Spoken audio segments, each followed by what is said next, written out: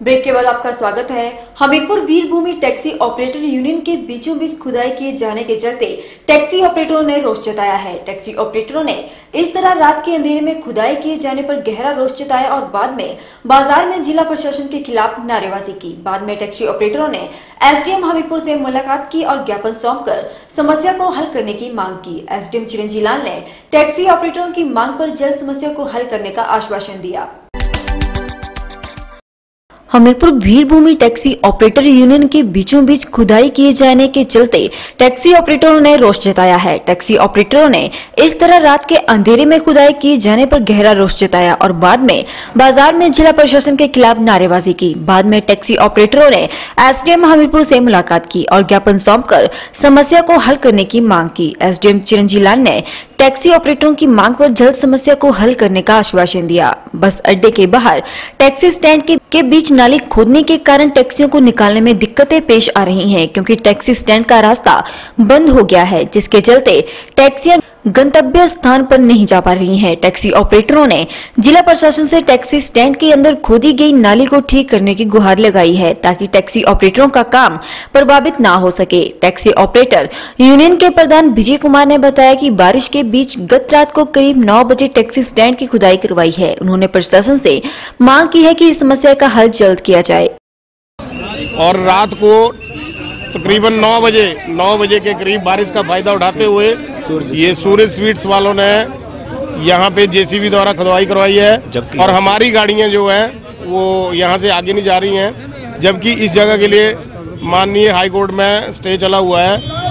तो इन्होंने रात के अंधेरे में ये काम किया हुआ है। तो हम इस काम इस कार्य के लिए इनकी घोर निंदा करते हैं और प्रशासन से मांग करते हैं कि हमें उचित उचित उचित इंसाफ दिलाया जाए। यहाँ पे दुकानें दी गई है। क्या कहते हैं उसके बारे में? प्रशासन ने प्रशासन ने दुकानें दी उसके लिए हम सहमत हैं क्योंकि हर किसी को अपनी रोजी रोटी कमाने का हक है।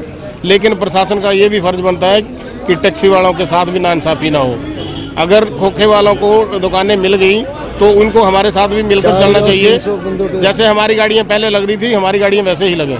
जिस तरह से टैक्सी ऑपरेटर ने बताया कि टैक्सी स्टैंड के पास एक दुकानदार ने जेसीबी लगाकर टैक्सी स्टैंड के रास्ते को बंद करवा दिया है। उन्होंने कहा कि दुकानदार अतिक्रमण करने में जुटा है, जिस पर प्रशासन को उचित कार्रवाई करनी चाहिए।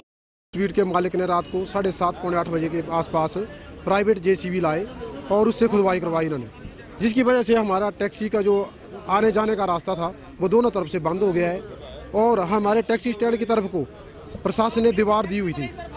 लेकिन उन्होंने उस दीवार को उखाड़ कर अपना सेटर लगाकर दोनों तरफ़ सेटर लगा लिए हैं और जब से इन्होंने अपनी दुकानें ली है, वो सभी अपनी मन मर्ज़ी से कार्य कर रहे हैं। लेकिन प्रशासन आँखें मूद कर इनका तमाशा देख रहा है, जबकि इनको जो शॉप यानी कि रेंट पे दी गई है, वो इनको अंदर दी हुई है। लेकिन ये अभी से ही अक्रोचमेंट करना शुरू कर दी है।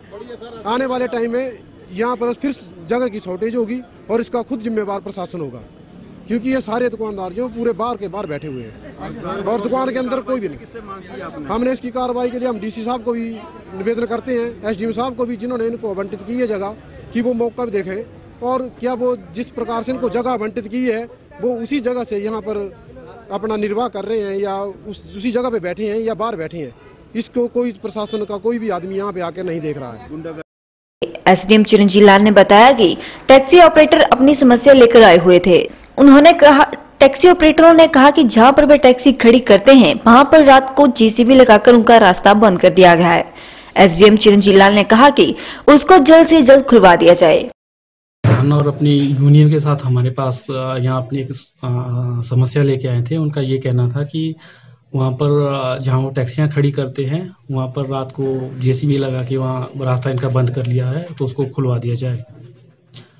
इस संदर्भ में चूँकि वहाँ पर प्रशासन ने आगे जो हमारे खोखे खोखा खोखे हैं उनको अलॉट कर दिया गया है पीछे किया है और ये जो लैंड है ये गवर्नमेंट की लैंड है इसको डेवलप करने का प्रावधान है। क्योंकि रात्रि को बारिश हो, हो रही थी इसलिए वो जो रास्ता इनका टैक्सी यूनिट को बंद करने के लिए नहीं नहीं किया गया था बल्कि वो पानी की निकासी के लिए बनाया गया था बनाया गया था ताकि ये दुकानों में पानी ना जाए।